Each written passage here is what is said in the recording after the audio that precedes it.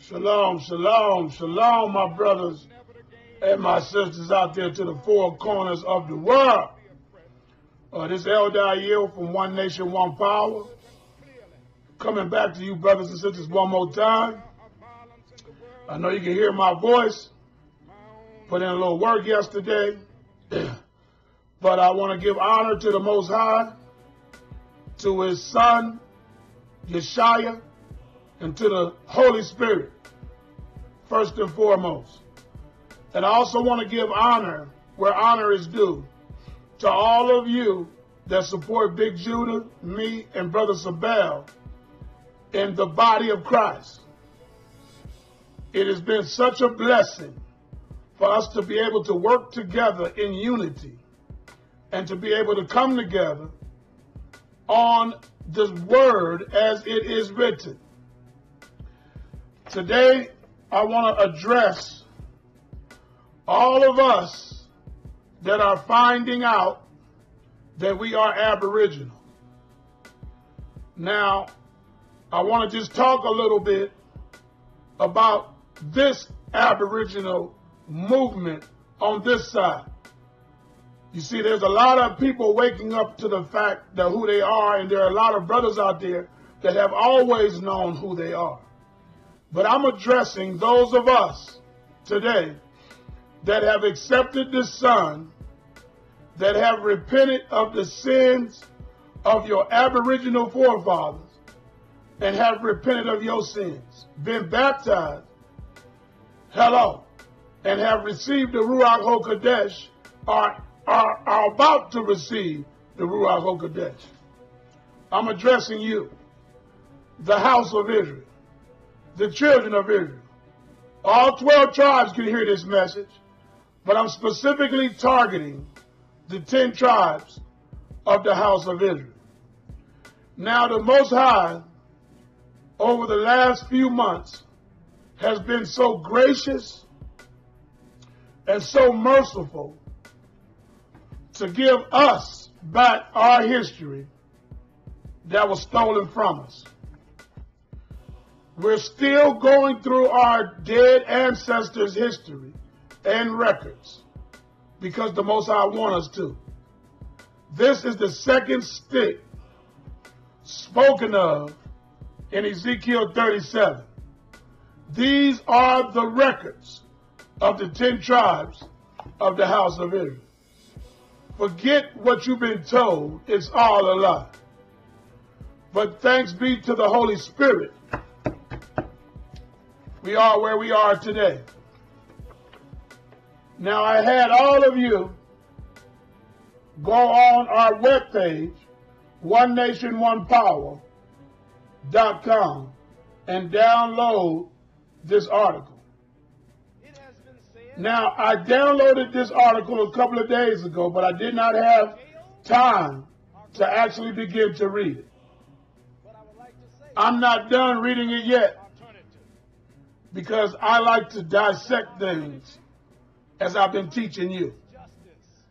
Now, this information backs up everything I have been teaching.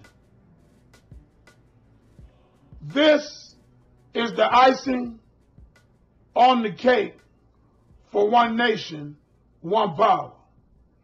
If you go back and watch all of the videos that began with Pangea, even the mentioning of Pangea is in here. I was correct. This brother went to college, did his homework, got out information to bring back to his people. This is how the Most High works. The Most High has individuals who are Hebrew Israelites all over the world who has who he has given pieces of our knowledge to. Now, as I begin to read this, there's a certain part in here that the power of God came on me. Now, I'm going to read just one part. We'll go over this entire book at a later date. But there's a part in here, in this book, where our ancestors had become a matriarchal society. Now that was not and is not the will of the Most High God. I'm going to say that again. Just because our ancestors went into a matriarchal system does not mean it is of the Most High God. You always want to line up everything in your Bible and bring it up till today. If it does not line up with the Word, then we have found an error. Go with me to Isaiah chapter 3. Isaiah chapter 3. Isaiah chapter 3. We want Isaiah chapter 3. And we want to look at verse 10 to 12. Isaiah chapter 3, verse 10 to 12. And then we're going to go to Numbers chapter 27. Isaiah 3, 10 to 12. Isaiah 3, 10 to 12.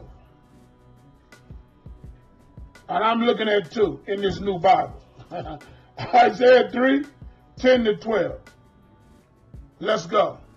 Say ye to the righteous that it shall be well with him, for they shall eat the fruit of their doings. Verse 11. Woe unto the wicked. Woe unto the wicked. Woe unto the wicked. It shall be ill with him, for the reward of his hands shall be given him. Verse 12. As for my people, children are their oppressors, and women rule over them. O my people, they which lead thee cause thee to err, and destroy the way of thy paths, and destroy the way of thy paths. I'm going to read this verse again. As for my people, the house of Israel, children are their oppressors, and women rule over them and women rule over them. This is why over in the New Testament, it talks about a woman shall not usurp authority over the man. Now let's go to Numbers chapter 27. Just because you grew up in something, don't make it right in the eyes of the Most High. Numbers chapter 27.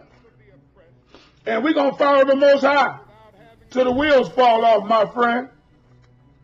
We're going to follow the Most High till the wheels fall off. Numbers chapter 27, and we walk verse 16. Now we're going to look at the original and divine order of the Most High. This is why he chose men in the Aaron priesthood. This is why Yeshua in the book of Matthew chose 12 men to be his disciples. Yes, you had prophetesses.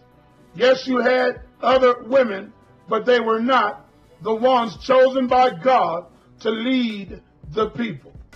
Numbers 27 and 16.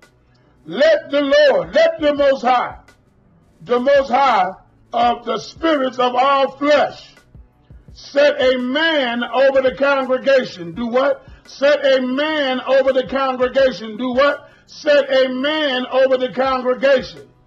So when our ancestors went to a matriarchal system, that is recorded in Isaiah chapter 3.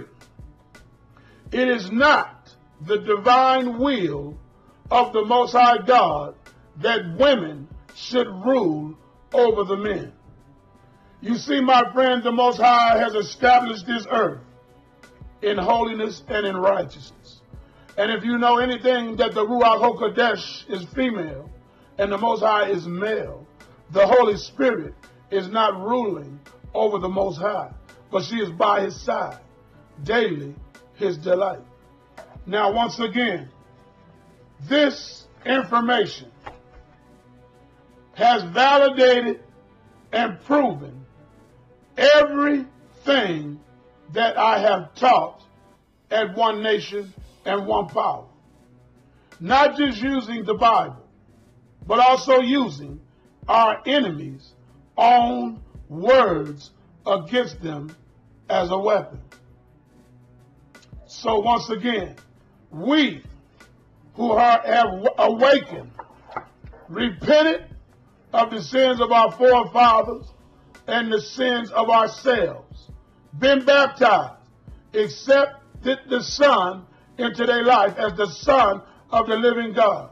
We, my friend, are the faces of the real aboriginal awakening. Thus says the Most High. We have aboriginals awakening all over the earth, but none of them are returning to whence they have fallen. So once again, I brought out that information because we are not under a matriarchal system, but a patriarchal system. Just because our ancestors, in their fallen state, in their wickedness, and in their sin, set up a matriarchal system, does not mean it is right in the eyes of the Most High. If it's in the Word, it deserves to be heard. If it's not in the Word, it does not deserve to be heard. Kwam Yasharahla, Kwam Yasharahla, Kwam Yasharahla, Kwam Yasharahla, Kwam Yasharahla. Shalom.